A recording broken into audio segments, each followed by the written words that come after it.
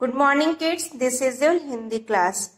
In our last class I have taught you Hindi व्यंजन का third line ट ठ ड ढ अड़ and today I am going to teach you ड ड से डबल रोटी ड से डमरू and how to write ड ड start from first line draw a small standing line make a curve in left side again curve in right side after sleeping line.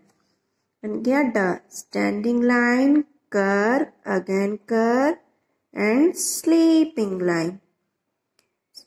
Say damru does say double roti. So kids this is your two days class work do in your hindi book Let's revise. Standing line, curve, again curve, after sleeping line. Okay, thank you. Bye-bye.